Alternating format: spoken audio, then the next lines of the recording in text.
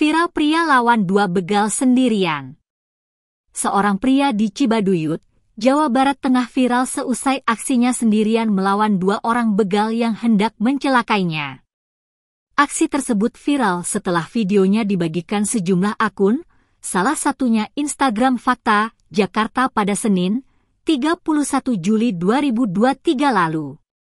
Dalam potongan video tersebut, Aksi pembegalan itu terjadi di tengah-tengah hari dan dalam kondisi jalanan yang masih ramai orang berlalu lalang. Kejadian percobaan pembegalan terekam CCTV. Aksi percobaan tindak kriminal tersebut terjadi pada Sabtu, 29 Juli 2023 lalu saat sore hari. Menurut penuturan korban, ia merasa sudah dibuntuti oleh dua pelaku tersebut dari belakang. Karena merasa curiga, sang korban langsung memberhentikan motornya. Namun, seusai sang korban menghentikan motornya, tampak seorang pelaku berusaha merampas motor dengan cara mencabut kunci motor. Korban yang tak terima dengan aksi dua begal tersebut langsung melawan. Saat korban melawan, pelaku mencoba kabur.